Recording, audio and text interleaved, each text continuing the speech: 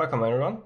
In this video I'm going to share some tips and tricks with you regarding this DC-DC uh, buck converter. So uh, you can see this product everywhere if you are searching for DC-DC converter and uh, it is because it is very popular uh, due to its price. So this is relatively cheap and uh, more or less reliable product but sometimes you can have some problems with it if you don't use it properly. So what this does, it, uh, it takes some uh, power on the input that should be between let's say 4 to 40 volts uh, the input voltage but they recommend at least 10 volts as the minimum uh, voltage I guess that's because of the efficiency of the conversion and then on the output uh, you can have your regulated voltage and current. And the way you regulate the voltage and the current is uh, that you change the resistance of these trimmer potentiometers. They are uh, 100 kilo ohm uh, potentiometers. So that's what this uh, 104 uh, stands for. And you can see that there is a text CV and CC so one is for the current and one is for the uh, voltage. So you can regulate both of these things with this. But you have you always have to make sure that uh, your input power is always much higher than uh, the power that you want to have on the output. Otherwise, uh, this will just not work uh, properly. Uh, there is also a switch, so you can uh, switch this thing on and off, and there is an LED light which indicates that this thing works. And you can see in between the heat sinks, so on each side you have a MOSFET. I cannot really read the uh, type of it. And then the buck converter is basically this uh, chip on the bottom. And uh, why I make this video is because you can see some parts here. So I have another uh, older uh, buck converter. This actually failed me. So I had uh, some issues with it, but it's relatively the same. Actually, this looks a bit more cheap and worse than, than this guy here. You can see the connections are not the best and this looks more cleaner. But uh, it's basically the same uh, stuff. But what I want to show you is the following. So as you can see that uh, I removed the trimmer potentiometers here because uh, we can replace them. So here are the removed uh, potentiometers. Uh, this just there is a screw here and you turn the screw, change the uh, resistance of this uh, circuit element and then you change the output voltage and output current by changing each of these. But I want to show you how it works. So actually there is not too many things to talk about because uh, you have the drawing here. But I can show you that uh, you can change the resistance. So I hope that uh, you can see the screen somewhat, let's say like this. So I, I just uh, demonstrate that this works. So we are at 83 kilo ohms and then I start to turn this uh, thing.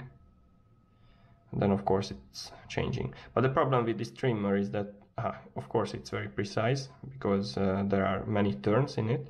But then it's a pain in the ass and also not so safe to have a uh, let's say metal uh, screwdriver and then just poke around this uh, let's say live circuit and try to change your output. So what you can do is you can see that this works you can get another type of uh, potentiometer. You can have this uh, Viper or uh, Viper type of potentiometer as well. It's up to your taste. This is like a very, very cheap and easy to use potmeter.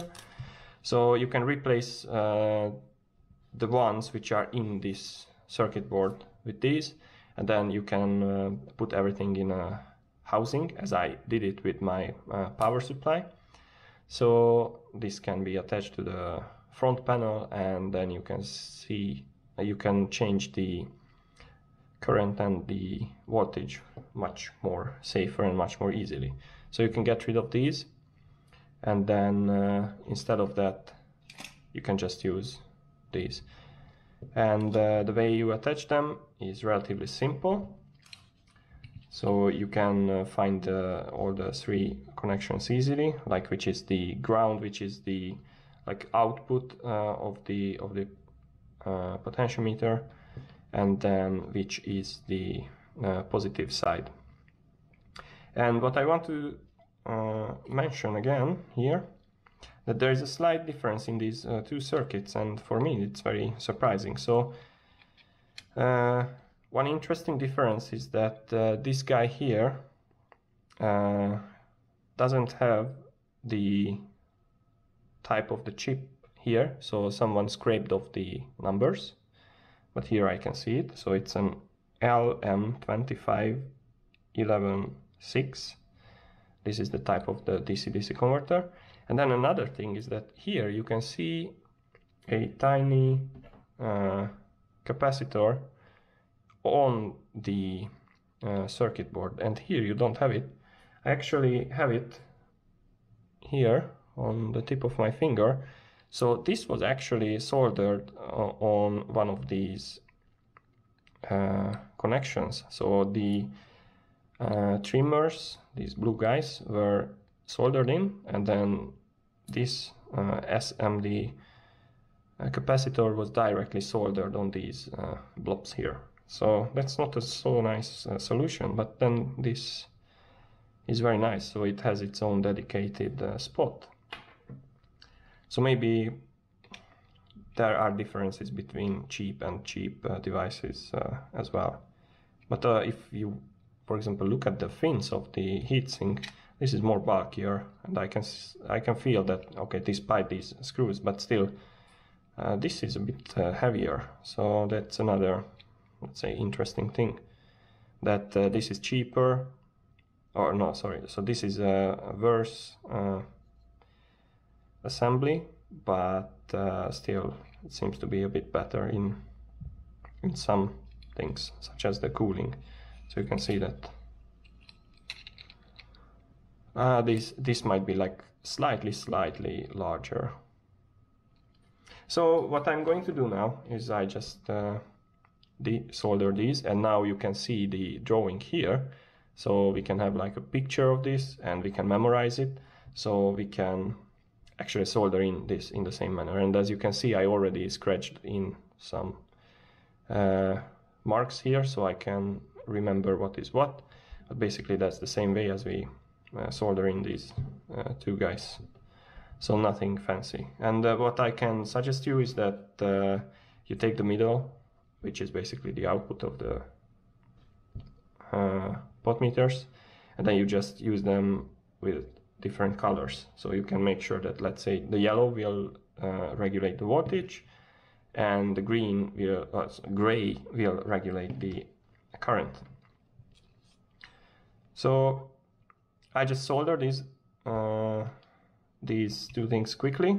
I insert these things in the PCB and then I come back and I see if it works.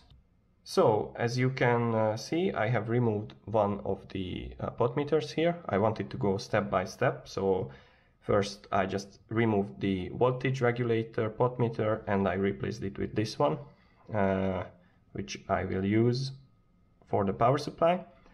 And as you can see so on the top I have the black wire and in the middle I have the gray wire which is the output of the potmeter and then here uh, on the bottom so closer to the connections of the output I have the uh, red wire. So if you see then uh, the black goes up and then this goes there in the middle of course and then the red goes down. This is how I uh, did it. And now I, I will just uh, change this for you and uh, my input uh, voltage is around 10 volts so I cannot go above that but uh, I can go down and uh, set uh, some voltage. So you can see it works and it holds the set value yeah, quite precisely. So only the last uh, digit is changing. So this is pretty nice. So I'm done with this part and uh, what I'm going to do now is I replace the other uh, current regulator, uh, potentiometer and see if we can regulate the uh, things with that as well. So I added the second uh, potentiometer here. It's a bit uh, messy with the cables, but what I did now is that I attached a load, which is a Peltier device here. It's a 6 ampere device. And I'm measuring the current running through this circuit with this uh, Peltier in it. So I set the power supply to 14 volts. And uh, now we can see that half ampere is running through this device and I can feel it that it's slightly uh, cold and the heatsink is getting warmer on the other side. So now I just uh, increase the current and then see what happens. So now I started to turn and you can see I, I just uh, try to turn it slowly. So now it's 1.2 amperes. And uh, now uh, we need to turn the voltage as well because that's also on the minimum. But you can see now 2.7 this is getting very cold. And I guess I can go yeah until 6 so it's going up nicely. But I turn it off because I guess it's getting hot on the other side. So it works everything is very nice. So basically I just turn off this power supply here. And you can see that uh, there is no uh, current running through the circuit. So what I wanted to do is just uh, this uh, small uh, demonstration that you can easily replace uh, these very very small and clumsy trimmer potentiometers and you can have your own any type of pot meters, and it's it's not a big deal to solder this. So maybe it took me like 10 minutes to do this full job. So that's not a big time and it's uh, more comfortable to access uh, the potmeters and more safe because you don't have to use any kind of tools nearby the live uh, circuit. So I hope that this video was useful for you and you could learn something from this and see you in the next video